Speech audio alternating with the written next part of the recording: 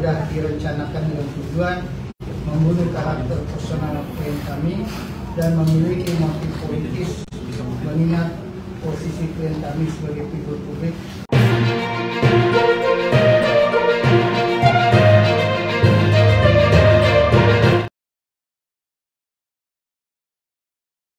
Tim kuasa hukum anggota DPR fraksi Partai Keadilan Sejahtera, PKS, Buhori Yusuf, BIE, menepis kliennya disebut telah melakukan kekerasan dalam rumah tangga, KDRT, terhadap mantan istri sirinya, MY yang berusia 34 tahun. Ketua Tim Kuasa Hukum Buhori, Ahmad Mihdan menekankan, Buhori tidak melakukan kekerasan kepada MY. Yang pertama, kata Ahmad, bukan merupakan KDRT. Itu tidak benar. Itu yang disampaikan. Poinnya yang agak khusus, ujar Ahmad dalam jumpa pers di kawasan Kuningan, Jakarta Selatan, Jumat, 26 Mei 2023. Ahmad menjelaskan, tindakan MY yang melaporkan Bukhari ke polisi hingga Mahkamah Kehormatan Dewan, MKAD, DPR sudah terlalu jauh. Dia mengklaim, dalam pengusutan yang dilakukan oleh Polrestabes Bandung, tidak ditemukan bukti yang membuktikan bahwa telah terjadi tindak pidana oleh Bukhari. Adapun laporan yang disampaikan oleh pihak MY merupakan tindak pidana penganiayaan ringan mengacu pasal 352 KUHP, bukan KDRT, sehingga menafikan tuduhan bahwa klien kami melakukan KDRT, dan hal itu pun masih dalam tahap penyelidikan, kata Ahmad. Bahkan, ia menilai, perbuatan pihak MY justru menyakiti istri sah Bukhari dan kedua anak perempuannya. Ahmad menuding pihak MY telah melakukan fitnah yang menciptakan tafsir liar di tengah masyarakat. Lalu, Ahmad menduga ada unsur politis di balik pelaporan MY terhadap Bukhari ini. Kenekatannya untuk menyampaikan fitnah ke publik diduga sudah direncanakan dengan tujuan membunuh karakter personal klien kami dan memiliki motif politis. Mengingat posisi klien kami sebagai figur publik yang memiliki posisi strategis dan disampaikan di tahun politik, jelas Ahmad. Sementara itu, Ahmad membeberkan MY merupakan seorang pasien di Rumah Sakit Kecanduan Obat, RSKO, Cibubur, Jakarta Timur. Baik, saya mulai yang pertama bahwa tim hukum BY menyesalkan pemberitaan yang hanya mengambil dari satu sumber, yakni dari pihak MY, yang kami nilai memuat informasi yang tidak objektif dan akurat sehingga menyebutkan BY selaku kami. Yang kedua bahwa tim hukum BY menyayangkan pemberitaan yang tidak akurat terkait urusan klien kami menantang merupakan masalah pribadi dan tidak sepatutnya dieksploitasi oleh pihak yang tidak bertanggung jawab sehingga menjadi konsumsi publik dan menimbulkan persepsi yang liar di tengah masyarakat dan menimbulkan kegaduhan. Juga bahwa tim B telah dibentuk bernama tim advokasi Polri untuk merespons yang terjadi oleh kami baik secara moral maupun secara material dan akan melakukan segala bentuk upaya hukum baik pidana maupun perdata. Empat tim hukum B menilai apa yang dilakukan oleh pihak MY sudah terlalu jauh karena berdasarkan bukti yang ada dalam proses hukum di Polres Bandung tidak ditemukan bukti yang menunjukkan bahwa adanya dilakukan oleh kami. Adapun laporan yang disampaikan oleh ini merupakan tindak pidana yang ringan mengacu pada pasal 352 KUHP bukan KDRT sehingga menafikan tuduhan bahwa kami melakukan KDRT dan hal itu pun masih dalam tahap penyelidikan. Lima tim hukum BY menilai tindakan yang dilakukan oleh pihak BY yang seolah-olah sebagai perempuan yang menjadi korban justru telah menyakiti perempuan lainnya yakni istri sah dan kedua anak perempuan tim kami atas fitnah yang telah menjadi konsumsi publik dan menimbulkan tafsir yang di tengah masyarakat. Enam, tim hukum B telah mengumpulkan bukti terkait penyakit yang diderita oleh B selaku pelapor yang selama ini merupakan pasien rumah sakit kecanduan obat Jakarta Timur yang setidaknya bisa menjadi pertimbangan bagi masyarakat khususnya menilai akurasi informasi yang disampaikan oleh enam tim hukum B menilai laporan letter ini ke MKD DPR dan kenekatannya untuk menyampaikan fitnah ke publik diduga sudah direncanakan dengan tujuan membunuh karakter personal klien kami dan memiliki motif politis mengingat posisi klien kami sebagai figur publik yang memiliki posisi strategis dan disampaikan tahun politik.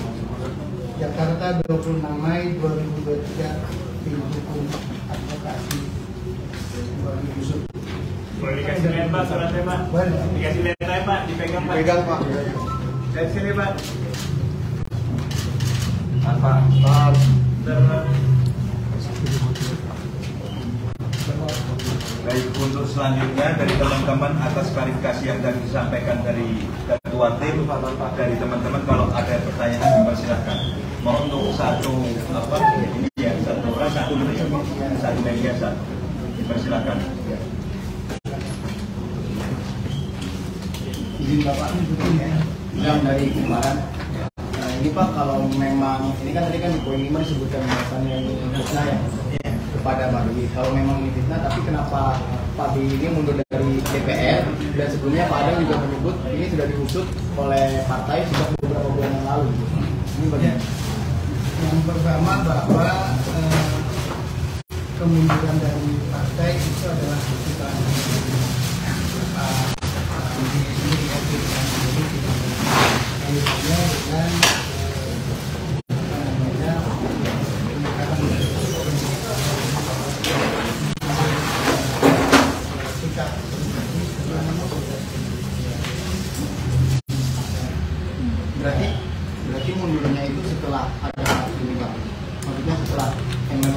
naik kemudian berjalan bersama. Ya, lebih internal antara memang ada kaitan dengan kasusnya dan melibatkan keluarga, pertimbangan keluarga. Berikan banyak pihak tidak semena-mana tidak menjadi dia, maka keluarga mengambil sikap. Pak.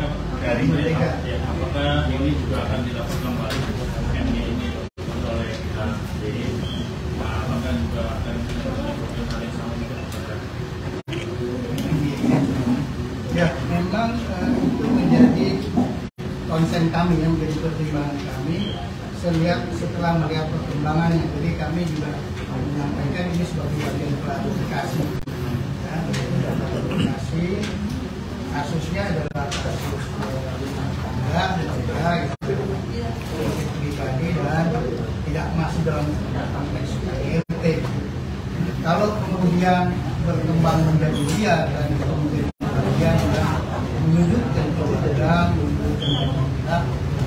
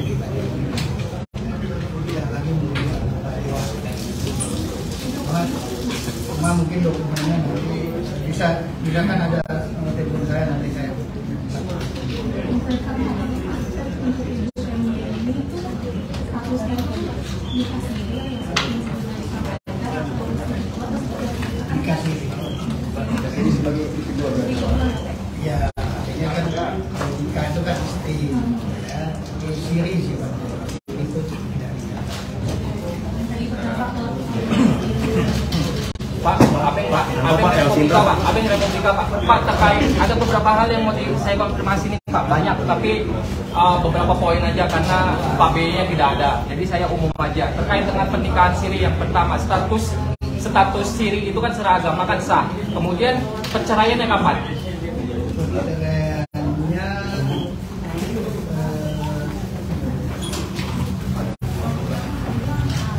bulan April Ap- April.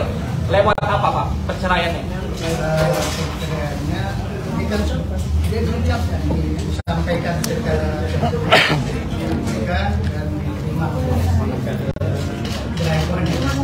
oke. Nikah itu di bulan Februari tanggal 20. Saya mau tanya sebelum pernikahan, apa yang terjadi di Hotel Sultan kamar 1405 tanggal sekitar bulan Januari? Apakah klien Bapak ada menceritakan soal itu? Itu yang pertama.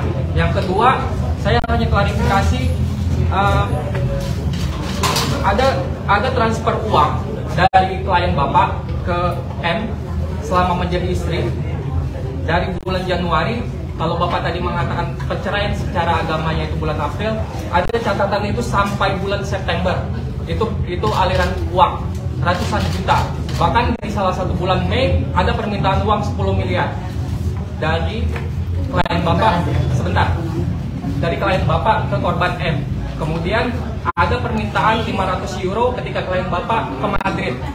Itu yang perlu harus klarifikasi. Eh, Kemudian terkait detail yang didugaan KDRT, apa klien Bapak menceritakan detail apa yang terjadi di 24 Februari, di 19 Juli, 20 Juli, 3 dan 4 November perjalanan dari Bandung dan ke Depok. Apa Bapak dapat apa yang apa klien Bapak menceritakan soal itu? Bahwasannya di tanggal-tanggal tersebut itulah yang terjadi KDRT. Eh, yang pertama bahwa eh, kami tidak belum mendapatkan Belum ya? Oke. Tetapi yang berkaitan dengan KDRT sudah. Oke. Itu ya, belum ya. Atau tidak? Tidak ada. Ya, kalau KDRT tidak ada, tapi rangkaian kejadian-kejadiannya tidak secara eh, apa, belum secara utuh ya disampaikan. Tapi tidak ada KDRT. Boleh saya lanjutkan Pak? Boleh.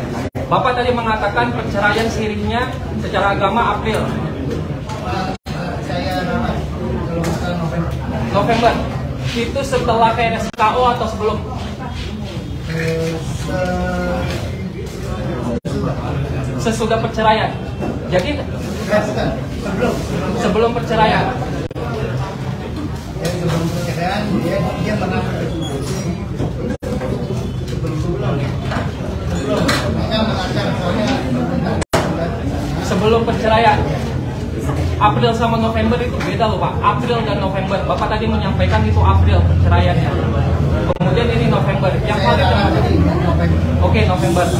KRSKO November. Ke RSKO-nya sebelum itu sebelum perceraian. sebelum perceraian. Dan dari RSKO benar atas nama Dokter Mario. Eh, silakan itu teman-teman yang Dan apa kesimpulan dokternya? Apakah memang dia depresi atau bagaimana? Eh, karena ada ada keterkaitan untuk menjelaskan pasien jadi teman-teman media yang jelas bahwa Oke Pak, masih RSKO, bukannya klien Bapak? Konfirmasi lagi sekali lagi. Eh, informasinya, bukankah klien Bapak juga diberikan resep obat penenang tanggal 6 November? eh, eh, bahwa resep untuk dia berobat itu ada di tangannya perintah tadi bukan untuk perintah Oke. itu untuk dibeli ya untuk untuk untuk pasien. Oke. saya pikir karena kita harus bagi dulu nah ya, Ya. nanti nanti, Ya. nanti saya udah Ya, terima kasih Pak. Ya. jadi yang lain dulu habis itu Tadi kan dikatakan kalau uh, ibadah dari suri dari tempo apakah di tahun 2020 ini Pak Kapolri tidak kembali bantah uh, sebagai anggota dewan atau gimana Pak? Apakah tidak partai? Eh, ya, sampai saat ini memang beliau ingin konsentrasi mengganggu mengganggu buat buat dia apa, secara pribadi terganggu dan buat keluarga juga sehingga memutuskan untuk sementara tidak ya, Dan tadi kan di situ disebutkan kalau ada motif politik kan, curigai ada motif politik sehingga uh, akhir pelayanan Pak Uh, apakah ini ada kaitannya dengan dapil satu di Jawa Tengah itu akan diisi oleh beberapa politikus senior seperti Pak Maharani dan Nasuhi Biasa?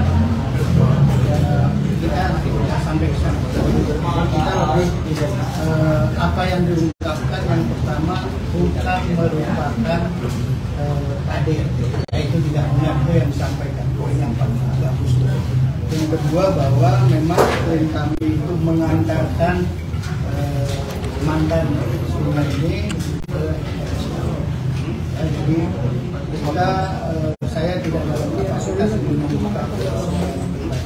Itu nanti berkembang ke mengusulkan kasus mereka Ya, jadi kita membatasi Pak, izin boleh saya lanjutkan Pak? Oke.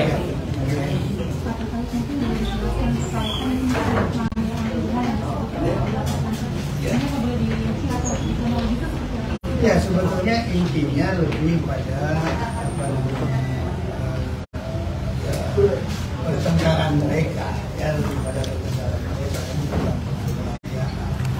Nah, ini sebenarnya masing-masing eh, bisa jadi korban gitu ya, atas tindakan.